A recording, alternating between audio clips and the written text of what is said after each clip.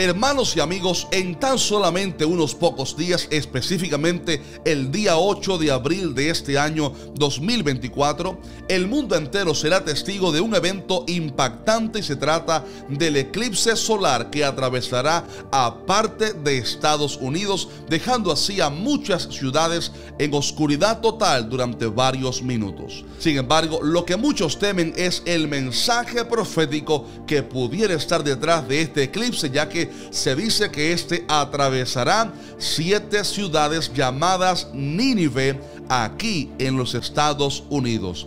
Pero ¿qué desierto tiene todo esto? ¿Será verdad que hay algo espiritual o profético relacionado con este eclipse? ¿De qué evento catastrófico o cataclismo pudiera estar advirtiéndonos Dios a través de este eclipse? ¿Y qué pudiera pasar en los próximos días? Sabes que en los últimos días he visto varios videos con respecto a este tema, algunos criticando el análisis profético o espiritual detrás de este eclipse, siendo algo escépticos o apáticos ante la posibilidad de que haya algo espiritual o profético relacionado con este evento, mientras que he visto también otros videos que se han ido a otros extremos causando así pánico en la iglesia. Sin embargo, en este video queremos estudiar juntos la verdad con respecto a este evento, este eclipse y si hay algo profético detrás de este o no. Y para esto vamos a dividir el video en tres temas. Primero vamos a explicar si es verdad que hay relación entre los eclipses y eventos en el cielo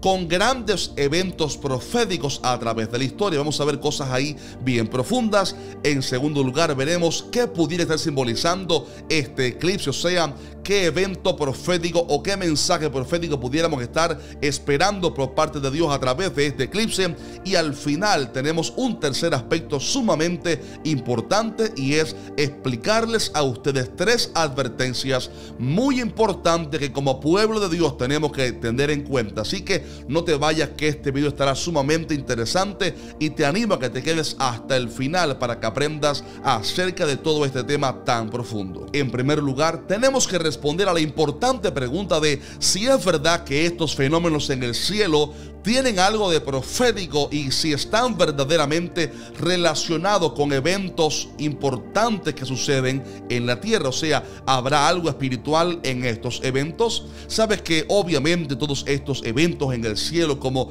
eclipses solares, eclipses lunares, todos estos son obviamente cosas naturales debido a la rotación de la luna alrededor de la Tierra y de la Tierra alrededor del Sol. Científicamente esto está comprobado. Sin embargo, tenemos que recordar que el que le puso ese orden a las estrellas, a la Tierra, a la luna y al Sol, a nuestro sistema solar, fue Dios, el Dios que conoce todos los eventos y el mismo Dios que en la palabra avisó que daría señales a través de los fenómenos en los cielos. Obviamente los cristianos no creemos en la astrología, aquellos que ponen su esperanza en las estrellas para saber su futuro, pero sí sabemos que Dios da mensajes proféticos a través de los fenómenos en la tierra y también obviamente en el cielo.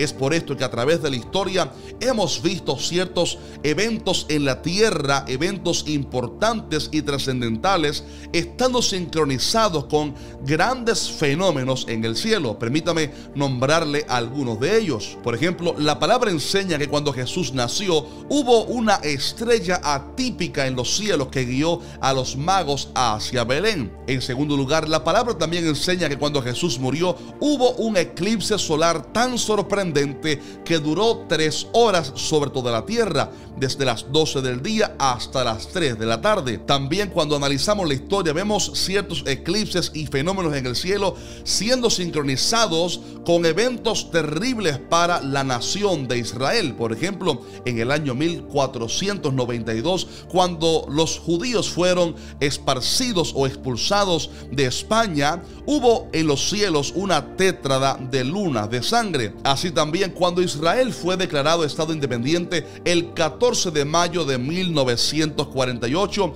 hubo en el cielo otra tétrada de lunas de sangre, evento que fue sincronizado no solamente con la política de Israel, sino también con la guerra que le declararon sus enemigos árabes. Así también en la guerra de los seis días en el año 67 hubo también una tétrada de lunas de sangre y finalmente en los años 2014 y 2015 hubo otra tétrada de lunas de sangre siendo sincronizadas con las fiestas judías. En fin, el punto es que al analizar la historia bíblica, pero también secular, es evidente que muchos fenómenos en los cielos como eclipses solares, lunas de sangre, etc., han estado coincidiendo con grandes eventos que suceden aquí en la tierra, por lo cual sí es evidente que hay cierta relación profética detrás de los eventos en el cielo. Es por esto que la Biblia también habla de hecho acerca de más fenómenos en los cielos que acontecerían relacionados con las profecías acerca del fin, o sea, gran tribulación, segunda venida de Cristo, etc. Y si usted es un amante de la profecía del fin, presta atención a esto porque esto se pone muy interesante. En primer lugar, vemos que a Joel el Señor le habló diciendo, y daré prodigios en el cielo y en la tierra, sangre y fuego y columnas de humo, el sol se convertirá en tinieblas y la luna en sangre antes que venga el día grande y espantoso de Jehová. Note que aquí el profeta está hablando acerca de fenómenos que veríamos en el cielo como el sol convirtiéndose en tinieblas, como una señal antes de la segunda venida de Cristo. Así también en Mateo capítulo 13 Jesús hablando acerca del tiempo de la gran tribulación dijo las siguientes palabras, pero en aquellos días, después de aquella tribulación, el sol se oscurecerá y la luna no dará su resplandor y las estrellas caerán del cielo y las potencias que están en los cielos serán conmovidas. Entonces verán al Hijo del Hombre que vendrá en las nubes con gran poder y gloria. O sea, lo que Jesús está explicando aquí es que antes de la segunda venida, en el tiempo de la gran tribulación, el mundo vería el sol oscurecerse y la luna convertirse en sangre y esto lo vemos explicado en Apocalipsis 6, cuando el apóstol Juan dice, miré cuando se abrió el sexto sello y aquí hubo un gran terremoto y el sol se puso negro como tela de silicio y la luna se volvió toda como sangre. O sea, todos estos pasajes hablan acerca de fenómenos impactantes que van a acontecer en el cielo en el tiempo de la gran tribulación. Sin embargo, ojo a esto porque quizás muchos digan, bueno, eso es para el tiempo del fin de la gran tribulación, pero cuando Pedro predicó en Hechos y habló acerca de la profecía de Joel, habló acerca de eventos proféticos, señales que estarían aconteciendo de ese momento en adelante. Y es por esto que aunque no estamos aún en el tiempo de la gran tribulación, sí estamos viendo señales y eventos que son tipo de lo que va a pasar en la gran tribulación. Y evidentemente todas estas lunas de sangre, eclipses lunares, eclipses solares son señales proféticas que Dios está dando, advirtiéndole al mundo que el tiempo se acaba y que hay que arrepentirse pronto porque Cristo regresa por segunda vez. Ahora bien, entrando ya en este eclipse solar específicamente y qué pudiera simbolizar, ya que explicamos que sí hay relación entre los fenómenos en el cielo y lo que sucede en la tierra, o sea que sí hay un mensaje profético detrás de estos eventos en el cielo, analicemos qué pudiera estar simbolizando este eclipse que se acerca para el día 8 de abril. ¿Sabes que es curioso que mientras estudiaba este tema, descubrimos que hace 7 años, en el año 2017, agosto 2021, hubo también en Estados Unidos un eclipse solar que atravesó siete ciudades llamadas Salem. Sabes que el nombre Salem está relacionado con paz, pero también con Jerusalén y a la vez con el anticristo, porque él vendrá prometiendo paz y seguridad. Qué curioso, déjeme saber qué piensa usted que simbolizó ese eclipse del año 2017. Pero ahora en este año 24, 2024, se acerca el día 8 de abril otro eclipse que también va a atravesar los Estados Unidos, pero de una manera distinta, creando una especie de X en, en la trayectoria en relación al eclipse pasado. Y algunos ven como este segundo eclipse como un segundo mensaje de Dios para los Estados Unidos. Y lo que sucede, ojo a esto, es que se dice que este eclipse del día 8 de abril va a atravesar a siete u ocho ciudades de Estados Unidos llamadas Nínive. Tenemos en primer lugar Nínive, una ciudad en Texas. También tenemos a Nínive en Missouri. Tenemos a Nínive en Indiana. Tenemos a Nínive número 4 en Ohio. Número 5 en Pensilvania. Número 6 en Virginia. Número 7 en Nueva York. Y en número 8 también hay una ciudad en Nueva Escocia. Algo importante con respecto a esto es que no significa que la franja de total oscuridad va a atravesar 7 u 8 ciudades, sino que va a atravesar algunas de estas ciudades específicamente y otras van estar muy cercanas en la trayectoria de este eclipse. O sea que estas ciudades, algunas van a ver una oscuridad total en el cielo, mientras que otras van a ver una oscuridad parcial, o sea, solamente van a ver parte de este eclipse. Sin embargo, no deja de ser curioso o llamativo que siete u ocho ciudades llamadas Nínive van a ser parte de la trayectoria de este eclipse solar. Y la gran pregunta es, ¿qué mensaje profético hay detrás de este eclipse? Por favor, no se vaya porque hemos llegado al momento más importante de este video. Como ustedes saben, Nínive nos recuerda a una historia bíblica y es cuando aquel profeta llamado Jonás fue enviado por Dios a la ciudad de Nínive para que predicara que en 40 días vendría juicio divino si la ciudad no se arrepentía de sus pecados. Ahora bien, hay algo curioso que estaba leyendo y es que un tal Donald Weisman, un arqueólogo y estudioso bíblico, argumentó que fue muy, es muy probable que cuando Jonás anunció aquel mensaje de juicio, hubo en Nínive un eclipse solar que hizo que la ciudad entera se estremeciera. Obviamente la palabra no lo dice así textualmente, por lo cual estas cosas hay que tomarlas con pinzas, con mucho cuidado. Sin embargo, pudiera ser algo llamativo, ¿verdad que sí? Y es curioso que esta ciudad se arrepintió del pecado pero Nínive es una palabra que nos recuerda el juicio de Dios por el pecado y que a la vez lleva el mensaje de un llamado hacia el arrepentimiento. Y la gran pregunta detrás de esto es, ¿qué entonces significa este eclipse para Estados Unidos? Mi opinión personal es que Dios está dando un mensaje de advertencia a esta nación para que se arrepienta de su pecado y para esto no necesitamos que el eclipse de Nínive de allá del tiempo de Jonás haya sido cierto. Sencillamente hay que mirar lo que la palabra de Dios enseña y el contexto de nuestra nación aquí en Estados Unidos. Hay mucho pecado. Este país le ha dado las espaldas a Dios, ha aprobado leyes que desafían a Dios y no puedo ser muy explícito para, para que ustedes saben, no nos quiten este video, pero este ha aprobado leyes que desafían a Dios con gobiernos que le dan las espaldas a Él y que aprueban cosas y leyes, programas que desafían su palabra.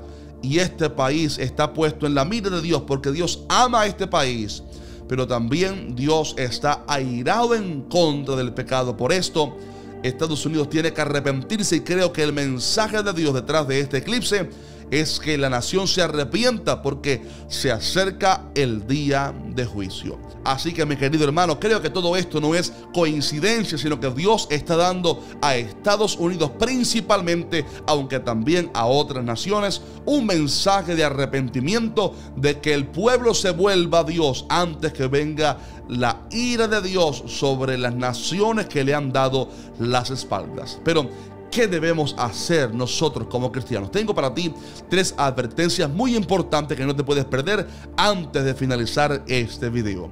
En primer lugar, tenemos que ponernos a cuentas con Cristo porque estos mensajes, estos eventos, lo que están avisando es que Cristo viene muy pronto por su pueblo y hay muchos que están dormidos. Si usted está dormido en su vida espiritual, no busca a Dios, es momento de despertar. Si usted está alejado de Dios, es momento de reconciliarse. Si usted aún no es cristiano, busca a Dios ahora que hay tiempo, porque pronto la puerta del arca se va a cerrar y no habrá más oportunidad. Así que busquemos a Dios ahora que hay tiempo, pongámonos a cuentas con Dios. En segundo lugar, la segunda advertencia muy importante es que como iglesia tenemos que orar a Dios pidiendo perdón por esta nación, clamando a Dios por misericordia. Sabes que la iglesia tiene el trabajo sacerdotal de interceder a favor de los nuestros. Y Dios Dice en su palabra, si se humillare mi pueblo, sobre el cual mi nombre es invocado, y oraren y buscaren mi rostro, y se convirtieren de sus malos caminos, entonces yo oiré desde los cielos y perdonaré sus pecados y sanaré su tierra. Oiga esto, querido hermano, yo creo que aunque nuestros países le han dado las espaldas a Dios, aún así la iglesia es un factor fundamental que como Abraham y Moisés interceden a favor del pueblo para que Dios retarde, se retrase su ira sobre nuestras naciones. Así que el llamado a la iglesia es que oremos a Dios por perdón para nuestros países y que Él permita que su ira no caiga aún, aunque sea mientras la iglesia esté presente aquí en la tierra. Y la tercera y última advertencia que tengo para el pueblo de Dios es que aunque todo esto es verdad, aunque este eclipse se trata, creo yo, de una señal profética de Dios advirtiendo de su juicio, aún así la iglesia tiene que tener paz.